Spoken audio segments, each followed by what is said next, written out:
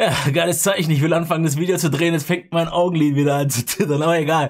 Weil eigentlich ist es ja Mitte 2020 sowieso komplett witzlos, noch so ein Mikrofon wie das Shure SM7B zu testen. Ich mache es aber trotzdem, einfach weil ich persönlich momentan gerade Interesse habe an Mikrofontests.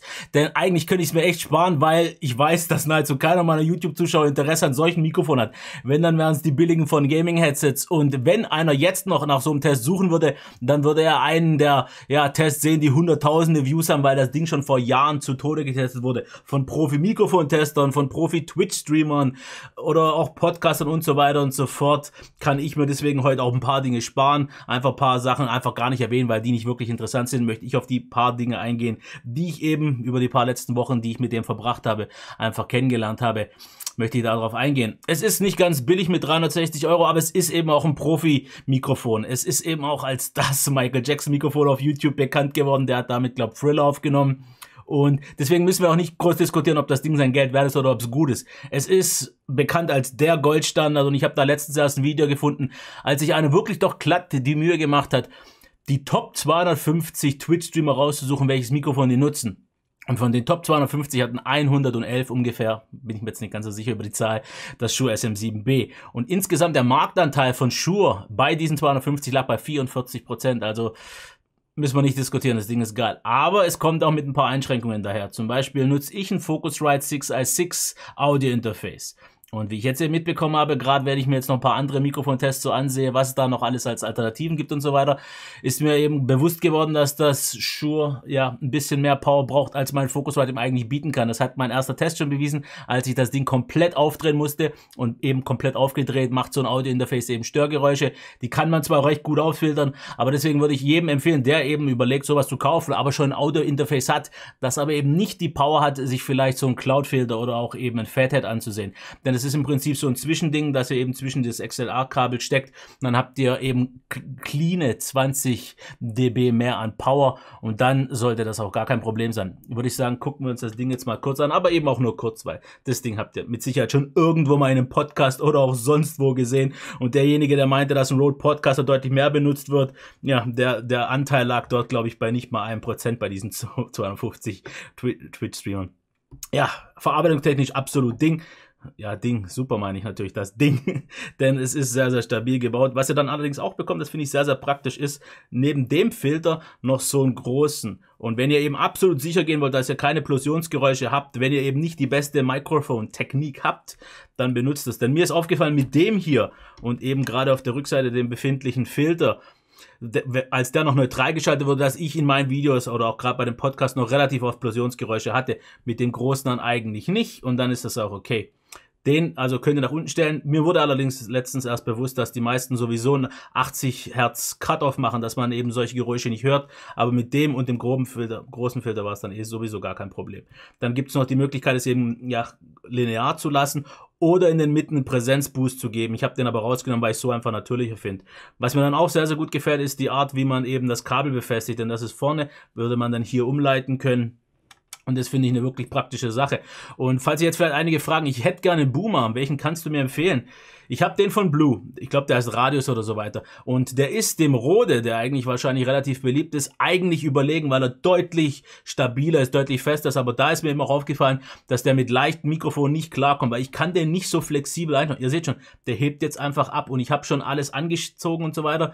Deswegen, wenn ihr was flexibleres wollt, was auch ein bisschen günstiger ist, aber vielleicht eben nicht ganz so stabil, nicht ganz so, würde ich mal sagen, profimäßig aussieht, dann könnt ihr problemlos zu dem von Rode greifen. Hatte ich selbst jahrelang bereut, dass ich ihn mittlerweile eben recht günstig verkauft habe, aber der, der ist auf jeden Fall stabil genug. Also das ist ein gutes Ding, aber es ist auch halt deutlich klobiger wie das von Rode. Und da wir das jetzt im Prinzip schon durch haben, würde ich sagen, schalte ich das mal ein und hören wir es uns mal an. So, und da haben wir es jetzt auch, das SM7B in Aktion. Ja, den Boomer kann ich nicht wirklich besser verlegen. Also ist für mich auch leider keine Option, so mit der Nutzung eben für meine Videos, weil ich einfach hier die Kopfhörer immer habe. Und wenn, wenn ich jetzt zum Beispiel die Kamera wechsle, ist das Ding komplett im Weg. Also kann ich es nicht wirklich nutzen. Aber ich würde es gern, weil ich muss halt sagen, es hat einen riesen Vorteil der Sound ist einfach so clean, wenn ihr eben die, das Ganze irgendwie an Nebengeräuschen rausfiltert, was eben bei mir in diesem Falle von meinem Audio-Interface irgendwie weitergegeben wird, dann ist es eben so geil, wenn ihr absolut nichts mehr hört. Also man hört eben keinen PC mehr. Man hört eben keine Außengeräusche, weil die Dinger dadurch, dass sie dynamisch sind, sind eben nur hier auf euch zielen, wenn man das vernünftig macht und wenn man dann eben auch richtig reden kann, ohne dass man jetzt direkt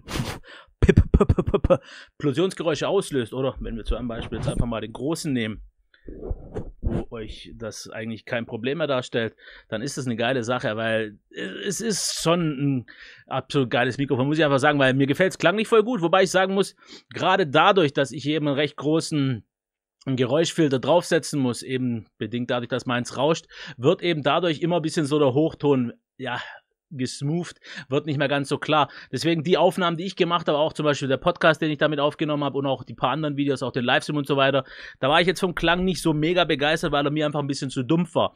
Aber eben das Geniale ist bei so einem Ding, wenn ihr die Hardware-Voraussetzungen habt und eben auch, wenn ihr so ein hochqualitatives Mikrofon habt, dann macht es erst wirklich Sinn, bisschen mehr eben in das Nachbearbeiten reinzustecken, was ich vorher gar nicht wusste, denn ich dachte, eigentlich eine komplett falsche Annahme, dass wenn ich ein super Mikrofon habe, ich dann eben nichts mehr am Sound machen muss und ich mir keine Sorgen machen muss. Und das habe ich aber erst letztens bei so einem Kanal, der eben Mikrofone testet und der hat schon hunderte getestet, podcastet, vielleicht mal nachgucken einfach dort.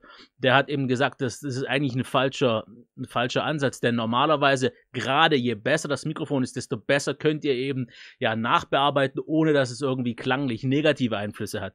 Und deswegen könnt ihr die hier zum Beispiel schön mit MQ arbeiten was ich nicht mache, weil ich nicht wüsste, wie meine Stimme, je nachdem, wie sie EQ das besser klingt. Aber mir ist so aufgefallen, ein bisschen zu dumpf, da müsste ich vielleicht ein bisschen Höhen erhöhen. Und deswegen ist es so mit meinem Equipment momentan auch nicht optimal. Da würde ich mir dann entweder ein Fathead zulegen müssen oder eventuell was mit EQ machen. Aber ich persönlich habe mir überlegt, das werde ich noch probieren zu testen, das Beta 58 von Shure. Denn das hat so einen leichten Boost in den Höhen. Dadurch ist es sehr, sehr klar. Es ist zwar eigentlich so ein Vocal-Mikrofon, sieht aus wie diese typischen mit dem runden. Ich kann es euch ja mal einblenden. Und das ist definitiv eins, das eher aussieht wie so ein Profi-Podcasting-Tool, weil es sieht halt gerade eben mit dem Aufsatz sehr, sehr dezent aus und das seht ihr eben auch deswegen bei allen YouTubern. Es wirkt erstens mal, ja, professionell. Definitiv mehr als so ein Gesangsmikrofon, wobei das ja eigentlich nichts Negatives ist. Aber es hat eben auch den Klang, weil es ist sehr, sehr neutral abgestimmt, was ja jeder mag und deswegen kann auch jeder damit arbeiten, weil jeder Tontechniker, Mixer und so weiter eben weiß oder Sänger, was er, was er erwarten kann, weil es ist einfach so, und das habe ich mittlerweile eben ja durch die ganze Recherche und so weiter mitbekommen, dass Leute einem Mikrofon extrem lange treu bleiben und das auch immer wieder nutzen, weil sie ganz genau wissen, wie sie mit ihm singen müssen, wie sie sich verhalten müssen, alles Mögliche. Ich habe natürlich auch viele Leute gesehen, die so ein Mikrofon nutzen und nicht wissen, was sie machen. Denn da ist zum Beispiel so ein Kanal, ähm, ich will jetzt keinen Namen nennen und so weiter, der, der hat das Ding und irgendwie übertreibt das mit dem Gain und er klippt ohne Ende. Also wenn er manchmal bestimmte ja, gerade hochfrequentere Töne nutzt, dann klippt das Ding. Also das heißt nicht automatisch, dass wenn ihr ein Profi-Tool habt, ihr auch automatisch Profi-Aufnahmen habt. Denn auch wenn es ein cooler Kanal ist, der Content geil ist, als jemand wie ich, der eigentlich nicht mal unbedingt ein Mikrofon-Profi ist, fällt mir auf, dass da eigentlich das Ding ja, zu unnütz genutzt wird. Dann, weil was bringt einem das beste Mikrofon, wenn man nicht damit umgehen kann? Also bevor man sich so ein Mikrofon holt, das gilt natürlich aber auch jetzt für mich zum Beispiel, sollte man erstmal lernen, wie positioniert man das Ding am besten, weil man sollte eigentlich nicht direkt reinreden, eher so ein bisschen auf dem Winkel, dass eben auch die Plosionsgeräusche nicht reingehen und so weiter und so fort. Dann eben, wie man redet, dass man eben auch die Distanz gleich behält. Wenn ich jetzt zum Beispiel weiter weggehe, bin ich natürlich leiser gehe jetzt näher ran durch den Proximity-Effekt und so, dann klingt das eben ein bisschen intensiver. Und das sind lauter kleine Dinge, die man einfach be, be, be, ja, sich bewusst sein muss.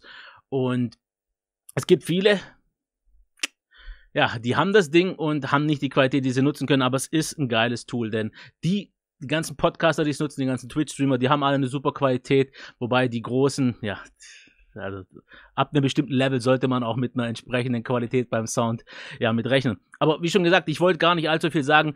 Das einzige Wichtige, worauf ich am Ende nochmal hinaus will, das Ding braucht sehr, sehr viel Power. Also holt euch entweder von Anfang an ein ja sehr hochpotentes, von der Power her eben versehenes ähm, Audio-Interface. Holt euch entweder dann, wenn nicht, eben ein Cloud-Filter oder ein Fathead.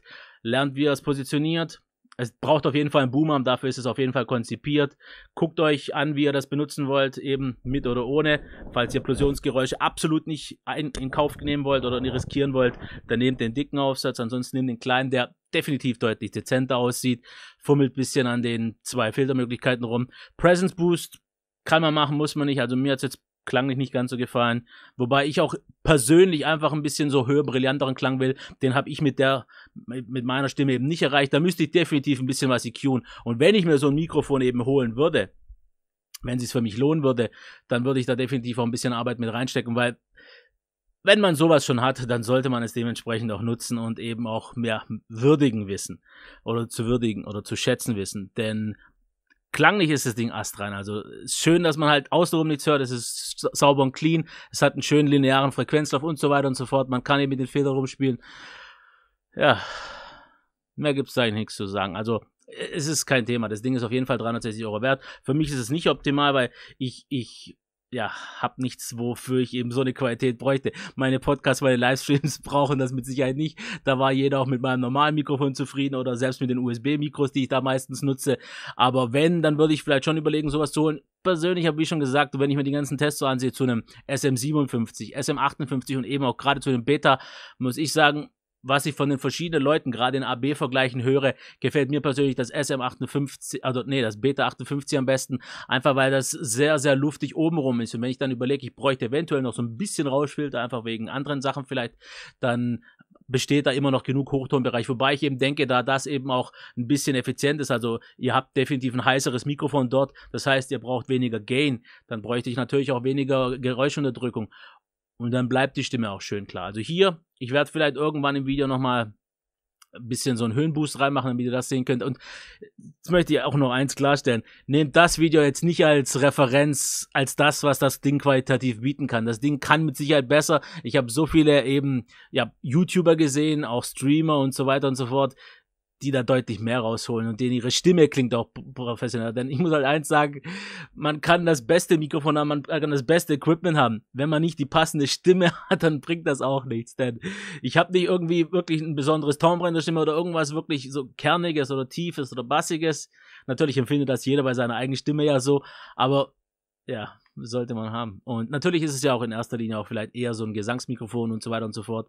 Aber ja, wenn es nur das wäre, dann hätten es nicht so viele Streamer und Podcaster und so weiter. Aber ich möchte das Video nicht länger machen, als es sein muss. Cooles Teil, war auf jeden Fall geil mal getestet zu haben. Persönlich jetzt nicht genau das, was ich brauche. Ich hätte da gern vielleicht auch was, was ich in der Hand mal heben kann, was bei denen nicht möglich ist. Also für mich Beta 58 sehr, sehr interessant. Ich hoffe mal, dass ich das auch noch kriegen werde zum Testen von Shure. Aber ja, ja, keine Debatte. Also 44% Marktanteil bei Twitch-Streamer natürlich nur. Aber das, das sagt schon einiges aus. Das sagt schon einiges aus. Aber das soll es auch gewesen sein. Ich hoffe, euch hat es trotzdem gefallen, den 50 Leuten, die sich für Mikrofone interessieren. Und damit sage ich, ciao, bis zum nächsten Mal.